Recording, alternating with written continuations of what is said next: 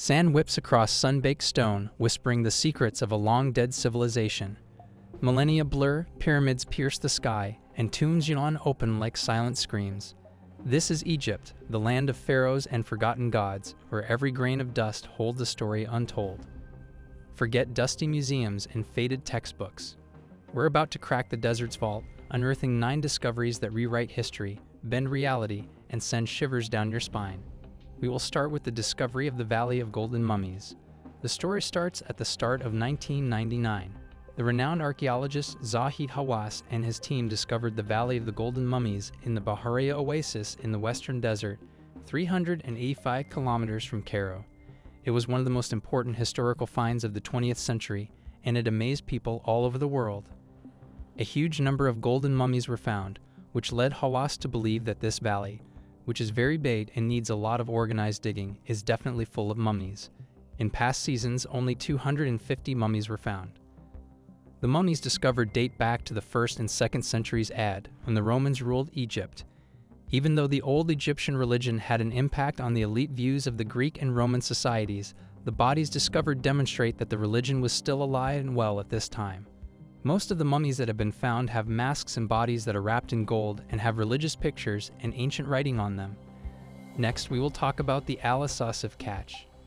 The Egyptian Ministry of Tourism and Antiquities reported in May 2019 that 30 colored human wooden coffins for men, women, and children had been found in the Al Asasif area.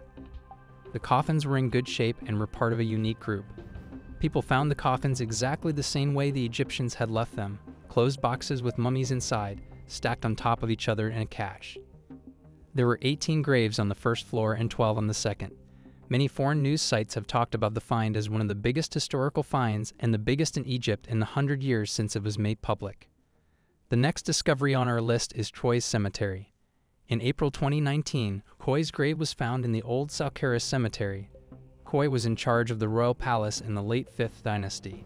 Because it is so important, American Archaeology magazine put a picture of the graveyard with its brightly colored walls on the cover of its January slash February 2020 issue as one of the 10 most important archaeological finds of 2019.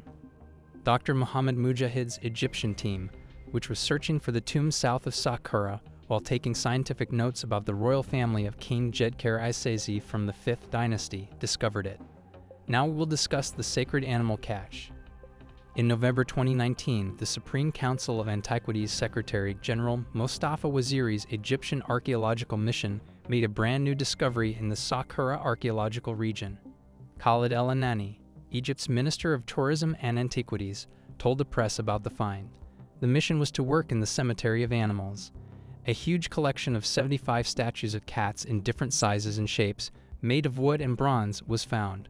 The collection also included 25 wooden boxes with hieroglyphics on the lids that held mummies of cats, wooden statues of different animals, such as the mongoose, the calf apis, small crocodiles with mummified crocodiles, and the god Anubis, kept inside, a large stone scarab and smaller ones made of wood and sandstone that showed scenes of gods. A unique wooden ibis statue and a group of statues of ancient Egyptian gods and goddesses are also on display. These include 73 bronze statues of the god Osiris, 6 wooden statues of the goddess Ta 11 faience and wood statues of the goddess Sekhmet, and a beautiful wooden statue of the goddess Neith. A stone plaque with the name of King Psamtik-I of the 26th dynasty is also part of the discovery. There is also a small wooden box with the remains of a gilded mask inside, as well as two wooden statues of women, one with a cobra's head on her shoulder and a wooden frieze that shows the life of a cobra another amazing discovery of 83 ancient tombs in Dakahlia Governorate. During their work in the Umm al Khaligan area of Dakahlia Governorate in February 2020, the Egyptian archaeological team of the Supreme Council of Antiquities found 83 tombs. The head of the Supreme Council of Antiquities, Mustafa Waziri, said that 80 of them are from the Buto culture or Lower Egypt, which lived in the first half of the 4th millennium BC. They look like circular holes cut in the sandy island layer Inside, people were buried squatting down, and furniture from the graves was found. According to Waziri, this is the first time that pottery sarcophagi from the time of Naqada II have been found in Dakahlia province. This is because burials in pottery graves had not been seen before, except for one case that was found by the Polish mission at Tal el Farka. Next, we will talk about the discovery of King Tut's tomb. The tomb of Tutankhamun in Egypt's Valley of the Kings may be the most famous historical find ever. Howard Carter led a team that found the tomb in 1922. It was full of amazing treasures, including Tutankhamun's death mask, which is now almost an icon. Carter went inside the tomb on November 26, 1922. As one's eyes became accustomed to the glimmer of light, the interior of the chamber gradually loomed before one, with its strange and wonderful medley of extraordinary and beautiful objects heaped upon one another. He wrote in his diary as he tried to describe the amazing things he saw that day. He was only 13 years old when he died. Some people call him the Boy King. An examination of his remains shows that he had several health issues and required a cane to move around. During most of his rule, around 1332 BC to 1323 BC, he worked to bring back Egypt's traditional polytheistic faith. This was put on hold when his father, Pharaoh Akhenaten, started a change that stressed the importance of the sun disk Aten. When Tutankhamun's tomb was found, it caused a huge stir in the media, and there was a story that opening the tomb had set off a curse. Rosetta Stone is also among the greatest discoveries. The Rosetta Stone has an order from 196 BC that says King Ptolemy V, who was 13 years old at the time, has the right to rule Egypt. An assembly of priests made the decision. What makes the order on the Rosetta Stone unique is that it was written in three languages Greek, Demotic, and hieroglyphics. When the stone was found in 1799, only the Greek language was known. However, the fact that the Greek writing said the same thing in three different languages helped experts figure out what those languages were. This made it possible to read books written in Demotic and hieroglyphic. The stone was found in 1799 by a group of scientists who were on a military mission led by Napoleon. The British took the stone, which is now in the British Museum. Egypt has asked Britain to give the stone back to Egypt. Next, we will discuss the Oxyrhynchus papyri.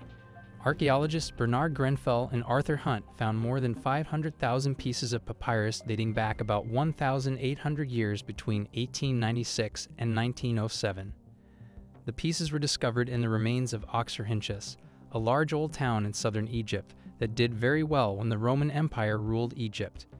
Because the town was dried, the papyri that the people used for writing have been around for almost 2,000 years. There are Christian stories, magic spells, and even a contract to set up a wrestling match among the papyri. The Egypt Exploration Society in the UK now owns many of the papyri. This group paid for the Grenfell and Hunt trips and keeps them at the University of Oxford. Since the pieces were found, scholars have been studying and interpreting the papyri. However, because there are so many texts, many of them have not yet been released. The last amazing find on our list is Pyramid Age Papyri. There was a port built on the Red Sea about 4,500 years ago during the rule of King Khufu. Researchers under the direction of Pierre Tallet and Gregory Marouard reported this in 2013. There are papyri that talk about how the Great Pyramid at Giza the world's biggest pyramid, was built. According to ancient writings, the Nile River and a network of tunnels transported limestone from a mine in Tura to Giza to build the Great Pyramid's upper shell. They say that a boat trip from Tura to Giza took four days. Also, the papyri show how long Khufu ruled Egypt. They show that in his 27th year as king, a vizier named Ankh-Haf was in charge of building the pyramids. Did we miss any incredible discoveries from ancient Egypt? Share your thoughts and additional finds in the comments below. We love hearing from fellow history enthusiasts. If you enjoyed this journey through time, don't forget to give us a thumbs up and hit that subscribe button.